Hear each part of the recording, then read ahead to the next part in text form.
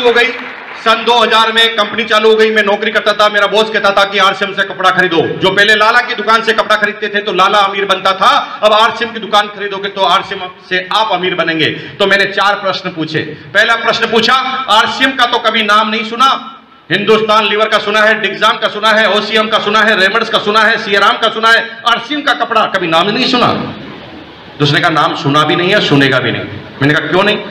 क्योंकि आरसीएम नाम नहीं सुनाती। तुझे पता है कि जिसका भी नाम तूने सुना है ना उस व्यक्ति का स्पेशल पैसा तुझे देना पड़ता है। मैंने कहा एग्ज़ाम्पल तो उन्होंने कहा हिंदुस्तान लीवर 120 साल पुरानी कंपनी है जिसका नाम है हिंदुस्तान यूनिलीवर। दुनिया के 180 कंट्री में काम करती है इंडिया में भी यूनिलीवर काम करती है और इंडिया में उसका साबुन का प्रोडक्ट है उसका नाम है लक्स क्या नाम है? लक्स साबुन जो है सत्तर साल पुराना साबुन है। लेकिन 25 साल 22 साल पहले ऐश्वर्या राय मिस वर्ल्ड बनी। दुनिया की सबसे खूबसूरत महिला का खिताब जीता।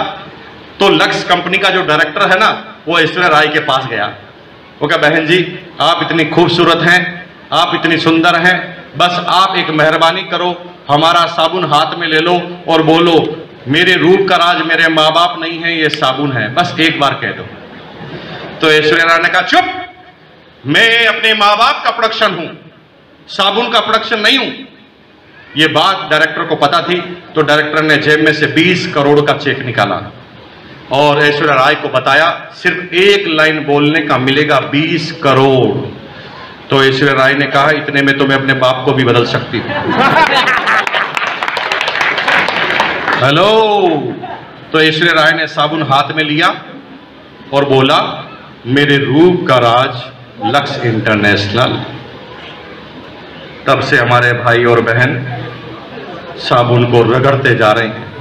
रगड़ते जा रहे हैं कि ऐश्वर्या राय जैसा कलर हो जाएगा। कलर तो छोड़ो खरोचे आ गई है पूरे शरीर पर। उस साबुन को लगा लगा कर। तुम सोच रहे हो कि साबुन पे एक ही तरह का टैक्स होता है? साबुन पे जीएसटी तो विजिबल टैक्स होता है एक अनविजिबल टैक्स बताता हूँ। जब भी आप ऐश्वर्या राय का वो लक्स साबुन लेकर आते हो ना तो आठ रुपए टैक्स देकर आते हो ऐश्वर्या राय टैक्स हर साबुन पे कितना टैक्स आठ आठ। मुझे बात समझ में आ गई, मैंने कहा, मेरे को नाम से मतलब नहीं है। तो मैंने दूसरा प्रश्न किया कि भाई साहब, तुम्हारी कंपनी तो केवल कपड़ा बनाती है, मैं तो कई प्रोडक्ट खरीदता हूँ। तो इसने कहा, कंपनी पहला प्रोडक्ट कपड़ा लेकर आई है। जैसे टाटा भी जिस दिन चालू हुई थी, एक ही प्रोडक्ट लेकर आई थी। हिंदुस्तान लीवर भी चालू हुई थी तो एक ही प्रोडक्ट लेकर आई थी। आरसीएम भी चालू हुई तो एक ही प्रोडक्ट लेकर आई है। आने वाले समय में कई प्रोडक्ट होंगे। मैंने कहा, कौन से प्रोडक्ट होंगे? तो उन्होंने कहा, सुबह टॉयलेट में जाओगे तो टॉयलेट क्लीनर आरसीएम का पेस्ट करोगे आरसीएम का ब्रश करोगे आरसीएम का नहाने का साबुन आरसीएम का शैम्पू आरसीएम का वॉशिंग आरसीएम का हेयर आरसीएम के क्रीम आरसीएम के परफ्यूम आरसीएम का डीओ आरसीएम का, जूते आरसीएम के बेल्ट आरसीएम के पर्स आरसीएम का, नमक आरसीएम का, नमकीन आरसीएम का, बिस्किट आरसीएम का लगातार बोलना चालू किया, धमाधम। जब खूब सारे प्रोडक्ट बोले उन्होंने, मैंने कहा, भाई साहब, इतने सारे। तो वहाँ पर पाँच आदमी थे। जब इतने सारे ढाई सौ प्रोडक्ट उसने बोले थे तो तीन आदमी तो खी खी खी करके हंस रहे थे। और मैं एकदम सीरियसली सुन रहा था। मैं सुन रहा था तो मैं यहाँ आ गया, वो खी खी खी करके गुटखा खा के अभी भी चालीस हज़ार की नौकरी कर रहे हेलो! इसे कहते हैं विजन जब मुझे पता चला कि यस हो सकता है तो मैंने तीसरा प्रश्न पूछा। क्वालिटी कैसी है? क्या पूछा? क्वालिटी कैसे क्वालिटी कैसी है? तो मेरा अपलाइन कहता है क्वालिटी पूछने वाला बेवकूफ़ होता है। मैंने कहा क्यों?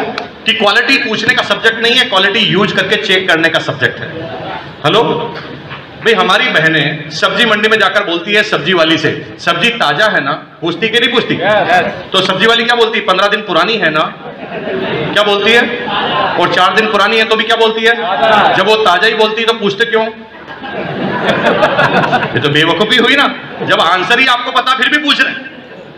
ए भाई, आप मेरे से पूछोगे कि आरसीएम की क्वालिटी कैसी है? तो मैं क्या पागल हूँ जो खराब बोलूँगा? मेरे को तो आरसीएम से कमीशन आता है भाई। तो कहोगे आरसीएम की क्वालिटी कैसी है? मैं कहूँगा, दमदार। इससे अच्छी कुछ हो ही नहीं सकती। लेकिन मेरे से पूछ रहे हो, बेवकूफ़ हो। पूछना नहीं। किससे पूछना? बाहर काउंटर लगा है। आरसीएम का पिकअप सेंटर पास में है। नौ रुपए दो, साबुन लो ना कर देख लो। नौ रुपए दो, बिस्किट खाओ। खाकर देख लो। नौ रुपए से नमकीन लेकर खाकर देख लो। अगर नौ रुपए नहीं है तो एक रुपए का शैम्पू का पाउच लो, ना कर देख लो। पूछकर क्या मिलेगा? कुछ भी नहीं मिलने वाला। बेवकूफ़ी है। इसलिए मेलोडी, खाओ, खुद जान जाओ। जो भी करना है, खुद चेक करना है। ये पूछने का सब्जेक्ट नहीं है। आरसीएम ज्वाइन करने से पहले लीजिए बिस्किट का पैकेट और खा के दीजिए। गुड डॉट का स्टॉल लगा है। गुड डॉट आरसीएम का वो प्रोडक्ट है मेरे भाई। Hundred percent pure vegetarian. उन लोगों के लिए बना है जो हंड्रेड परसेंट नॉन वेजिटेरियन है। एक ऐसा प्रोडक्ट निकाला, क्योंकि वेज और नॉन वेज के क्या नुकसान है मैं आपको बताता हूँ। दुनिया में अभी जितने भी रिसर्च चल रहे हैं, वो चल रहे हैं नॉनवेज खाने के दुष्प्रभाव। जब रेड मीट आप खाते हैं तो रेड मीट के इतने सारे दुष्प्रभाव हैं जो साइंस ने खोज निकाले।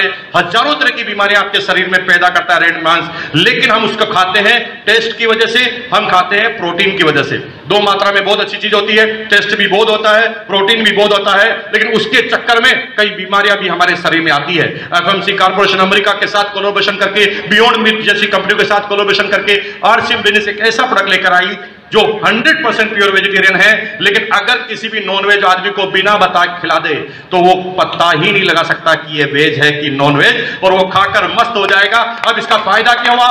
प्रोटीन उससे ज़्यादा मिल गया और 100 परसेंट प्योर वेज मिल गया, शरीर को बीमारियों से दूर भी रखा प्रोटीन भी पूरा मिल गया। और मज़े की बात है कि कंपनी ने आज एक डेमो स्टॉल लगाई है बात। कंपनी ने डेमो स्टॉल लगाई है, एक डाइट डेढ़ सौ रुपए में पड़ती है, सवा सौ से डेढ़ सौ रुपए में पड़ती है, जब आप घर पे बनाते हैं। लेकिन कंपनी यहाँ पर एक सब्सिडी रेट में आपको एक प्रोडक्ट अवेलेबल कराती है, चावल के साथ करी। जब आप वेज करी खाएँगे तो चावल के साथ उसे मिलेगी और वो मिलेगी केवल पचास रुपए में। आज का खाना इसी को खाइए और आप पता लगाइए कि इस खाना खाने के बाद क्या हुआ। तो अभी का अभी आज का आज प्रोडक्ट टेस्ट भी हो जाएगा और पेट भी बढ़ जाएगा।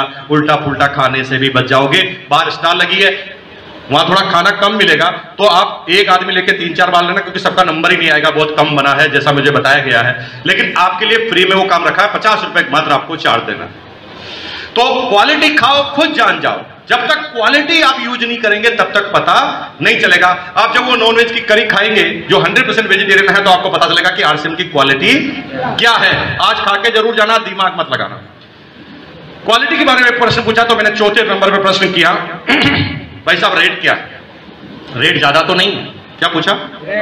रेट ज़्यादा तो नहीं है। तो उसने कहा रेट का जवाब भाई साहब कंटेंट देते हैं। कार दो लाख की भी आती है कार दो करोड़ की भी आती है। कार की रेट डिसाइड नहीं होती कार में लगे हुए सामान से रेट डिसाइड होती है। शर्ट सौ रुपए का भी आता है शर्ट तीन हज़ार का भी आता है। शर्ट के नाम से रेट डिसाइड नहीं होती शर्ट में जो क्वालिटी है उसके नाम से रेट डिसाइड होती है। हेलो सही कह रहा हूँ कि नहीं भाई एक कार दो लाख रुपए की है यहाँ से आप पटना जाओ। एक दो लाख की कार लेके यहाँ से पटना जाओ तो कार ऐसी ऑटोमेटिक होती है कि सोकर उसके काम नहीं करते। साला पटना जाओ तब तक पूरे शरीर की ऑटोमेटिक मसाज हो जाती है। हाँ तीन दिन तक फिर सोना पड़ता है। और वो कार है ना ऑटोमेटिक टेप रिकॉर्ड वाली कार होती है। जिसमें टेप रिकॉर्ड एकदम बंद होती है, लेकिन जो ही स्पीड ब्रेकर पे झटका लगता है कार का ठंग मेरे अंगने में गाना चालू होता है ऑटोमेटिक है ना?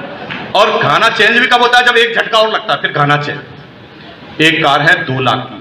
और एक कार आती दो करोड़ की। दो करोड़ की कार ना मालिक की शक्ल पहचानती है और वो गेट यूनिक होता है वो गेट यूँ बोलते हैं टाक। मालिक जब कार में बैठता है ना तो उसमें टेम्परेचर कंट्रोल नहीं करना पड़ता। आपके शरीर का टेम्परेचर जो ही सीट पर जो सेंसर लगे हैं, उसके पास जाता है, वो ऑटोमेटिक आपके टेम्परेचर को कंट्रोल करते हुए एसी भीनी भीनी चालू कर देना चालू करता है। और भाई, उसका स्टूडियो सिस्टम इतना पावरफुल होता है कि जिस गाने से सबसे ज़्यादा नफरत है ना वही गाना जब उसके अंदर चलाओ तो ऐसे लगता है जैसे प्रेमी का गाना गा रही है। और भाई, उसके अंदर मसाजर लगे हुए हैं। है ना, मसाजर बैठते ही शरीर की आपकी मसाज होने चालू होती है। ऐसे मसाज करती है वो मशीन, जैसे बीबी टांगे दबा रही है, हाथ दबा रही है। आदमी कब जाकर बॉम्बे पहुँच जाता है, कब वो पटना पहुँच जाता है, पता ही नहीं चलता। एक कार दो करोड़ की, एक कार दो लाख। तो एक शाणा आदमी मुझे कहता है, बहुत सारे दिमागदार आदमी मिलेंगे भी बाहर आपको, वो प्रश्न पूछेंगे। कार तो कार है।